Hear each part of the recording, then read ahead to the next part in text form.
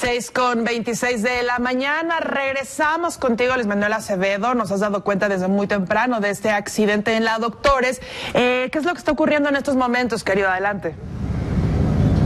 Efectivamente, Lili, sí, hace aproximadamente siete minutos llegaron ya los servicios periciales, la ambulancia de la Fiscalía General de Justicia de la Ciudad de México y ha dado fe del fallecimiento de esta persona, del conductor de este vehículo Spark de color rojo, que quedó pues literalmente prensado dentro del vehículo una vez que este se introdujo debajo de la caja de este tráiler. Lo que vemos en las imágenes en este momento es el rescate del cuerpo que están haciendo los elementos del heroico cuerpo de bomberos, quienes han tenido pues que romper literalmente con todo su equipo la puerta del lado derecho para poder llegar precisamente hasta donde está el cuerpo, el cual quedó pues atrapado entre lo que es el toldo, el marco de la puerta y también pues el asiento y por supuesto el volante. Nos están diciendo e informando en este momento que este tráiler que circulaba por el eje 3 sur transporta telas.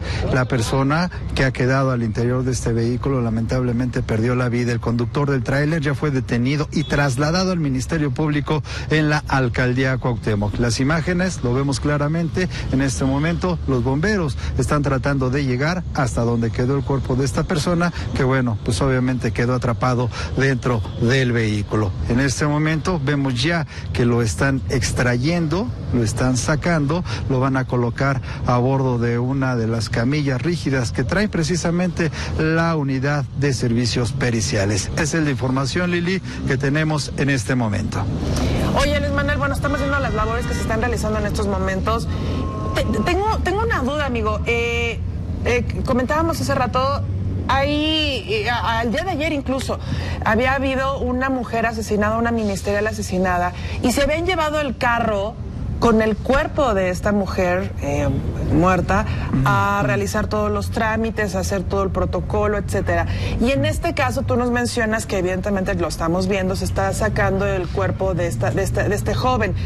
Eh, ¿Hay algún protocolo establecido que tenga que sacarse el cuerpo de en el lugar que ocurrió el accidente o en donde sucedieron los hechos o se le dio trato preferencial el día de ayer a la ministerial o sea ¿qué, qué, qué es, esa discreción de quien toque en ese momento o hay un protocolo para eso Fíjate que efectivamente tú lo mencionas, lo de la mujer eh, agente del Ministerio Público fue en el municipio de Nezahualcóyotl, en el Estado de México, y obviamente pues se le dio toda la prioridad para llevarse los vehículos, iniciar las indagatorias al interior del vehículo, ya estando en la oficina de la Fiscalía de Homicidios en Nezahualcóyotl. Por tratarse de un funcionario público, en este caso de la Fiscalía del Estado de México, bueno, pues se llevó a cabo ese tipo de protocolos. Aquí en el hecho en el que nosotros nos encontramos ahorita, por ser un accidente, bueno, pues tienen primero que llegar y dar fe de lo que aquí ha ocurrido. Y si en este caso,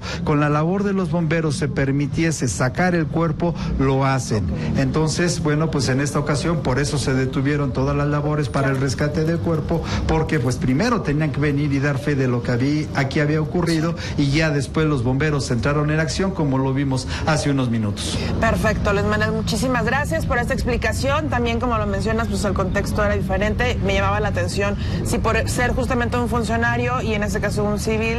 Eh, y bueno, evidentemente estábamos hablando de cosas como un homicidio. Mi, mi, duda era como en el lugar de los hechos tenía que hacerse de cierta forma. Muchísimas gracias por la explicación.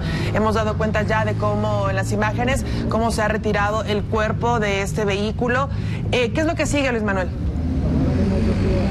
Ahorita ya nada más viene la extracción del vehículo por parte de elementos del heroico cuerpo de bomberos. Van a tener que llegar incluso grúas de la policía capitalina para extraer, sacar el vehículo debajo del tráiler y posteriormente trasladarlos, por supuesto, los dos vehículos hacia el Ministerio Público correspondiente. Una labor que se antoja por lo menos, calculamos, a ojo de buen cubero, alrededor de una hora. Perfecto, bueno, pues estaremos dando cuenta de ello. En los alrededores, ¿cómo continúa el tránsito?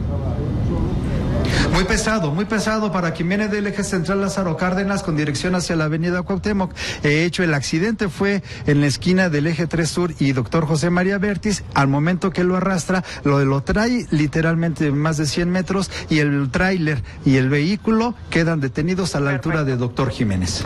Perfecto, Luis Manuel, muchísimas gracias. Eh, pues creo que ya llegó por ahí Ramoncito. Ya estarás entregando la estafeta de esta nota, insisto, pues desde muy temprano, muy puntualmente diste cuenta de ello. Gracias, querido, nos vemos mañana.